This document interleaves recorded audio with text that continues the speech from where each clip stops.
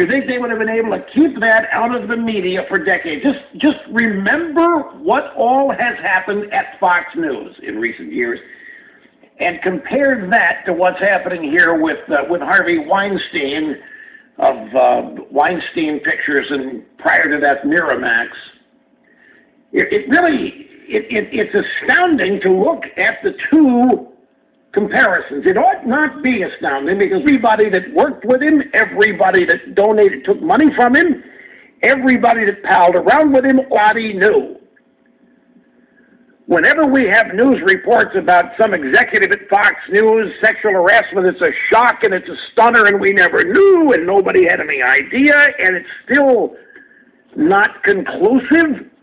Made to walk the plank.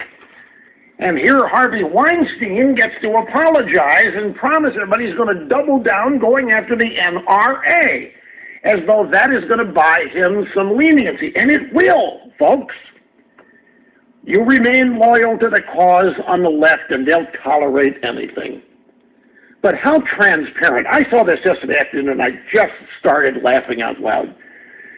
Harvey Weinstein issues whatever apologies. You know, I came from the 60s. Uh, you got away with a lot more back in the 60s. Harvey, I came from the 60s too. And I remember when the feminazis started taking over in, in the late 60s and early 70s. And so it didn't have anything to do with them. And everybody knew. That's the thing. The New York why all of a sudden now is the New York Times breaking the seal on this? Something had to happen to cause it. But Harvey, I want to give you some advice here, buddy. I've never met Harvey. But you're playing this all wrong. Apologizing and promising to bury Wayne LaPierre and all that. That isn't what you do, Harvey. You need to get the neck brace. You learn from Ted Kennedy, you get the neck brace. Fake an auto accident or something, but get a neck brace on there as quickly as you can. And then you learn from Bill Clinton. Have a meeting with Jesse Jackson and walk around with the Torah. He's, he's Jewish, so Bible won't work. But walk around. That's how Bill Clinton did it. Meeting with Jesse Jackson. Ted Kennedy, of course, with the neck brace. About a woman running for president who takes money from a serial abuser and sexual harasser like Harvey Weinstein. Everybody knew about his behavior. The women involved were all talking. People at the Weinstein Company knew. Everybody knew. And in fact, um, if you have any experience reading gossip columns, particularly New York Post page six, the stories of what a boorish man Harvey Weinstein is to death, particularly young budding actresses and anybody else who wants to become anything in the movie business, scared to death of smoking. He was a brute. He, he was. You know what? Harvey Weinstein is as close to the prototype that young college women are being taught about men today as anybody you could come up with in public life. That men are predators, that rape stories and all these leftist publications turned out not to be true, but you know how women are being taught. Young college age women, men are brutes, men are men are predators, men beat women, men meet, mistreat women. Uh, you have to shield your own kids from the father because the father is an uncontrolled, just barely, barely out of the cave. Harvey Weinstein comes as close to epitomizing what the body that I know, and everybody knew it. Now, what does that mean? Kinds of travel log, White House uh, log information how many times Harvey Weinstein of the White House.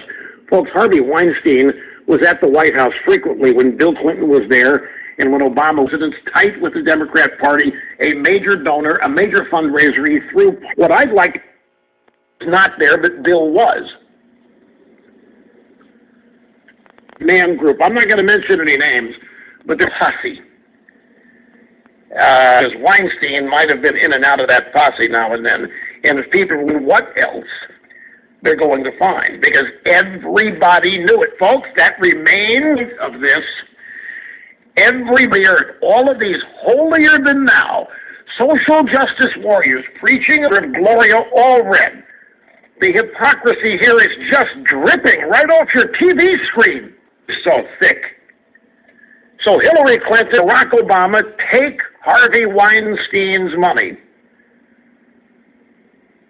She remained associated with him, and she knew this was going on. Of course, Hillary remained silent. Will she try to now say that the vast right wing conspiracy was also trying to nail Harvey Weinstein along with her husband? The vast right wing conspiracy, the donor community does, but outside gentlemen, did Hillary betray feminism here? Betray it? Did Barack Obama betray it here? Go to the microphones and the cameras and say she didn't know. I had no idea, just like I didn't know about Benghazi. I had no don't hold your breath. And it might become awkward for Michelle Mybell because her husband took money from Harvey too. Should the money be returned? They all knew. I'm thinking the outrage at Cam Newton yesterday versus everybody trying to cover their tracks. Hey, hey, hey, yeah, it's bad, it's bad. But, you know, Harvey understands that now. And Harvey's Harvey's on the road to rehab. Harvey Harvey gets it. He, he and he's working harder. That's the line coming out of the pro Harvey camp. Cam Newton, they didn't just make this guy apologize. They made Cam Newton grovel yesterday, the Patriots and Buccaneers. Nor did I, nor did I, but I happened to see a segment from the halftime show. Deion Sanders, who could teach these Democrats a lot about backpedaling, by the way. I mean, that's what you have to do as a cornerback. Deion Sanders and Bill Cowher, the former coach of the Pittsburgh